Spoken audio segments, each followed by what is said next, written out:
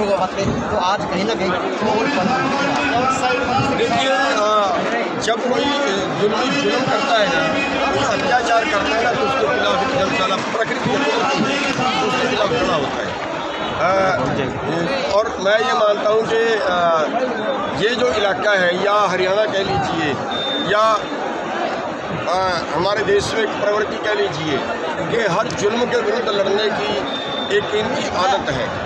اور اتیاچار جو ہوا ہے، سیر پاڑ دیے گئے ہیں، بے گناہوں کی لاٹھیاں ماری گئی ہیں، ہڈیاں توڑی گئی ہیں، اور پٹے مارے گئے ہیں، تو اس اتیاچار کے خلاف ایک جن سیلاب پڑا ہے۔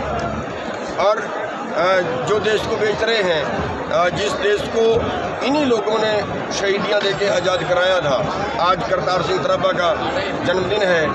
اور جنہوں نے دیش کے لیے اپنی جانیں جھونکی ہیں تو ان کی جانیں کس ارتھ گئی جب اس دیش کو انگریزوں کے پاس نہیں تو کارپوریٹ کے پاس لکھنا تھا؟ تو یہ لوگ جو ہے اس اتیاچار کے لیے صاحب ایک بات اور ہے کسانوں کے اندر بھائی سرکار نے ظلم شروع کر دیے تو کیا اب کی بات چوبیس مئی کو بات کی تو سرکار ظلم کرنے لگی؟ تو کسان کیا کرے گا؟ دیکھیے ظالم تو ظلم کرتا رہتا اس کی برابری کی ہوتی اور ہماری اس کا مقابلہ کرنے کی برابری کی۔ ہم کرتے رہیں گے۔ ہم روکتے رہیں گے۔ یہ سلسلہ یہ نہیں ہے کہ آج آخری دن آج بند ہو جائے گا۔ آگے بھی ہوگا، ہم آگے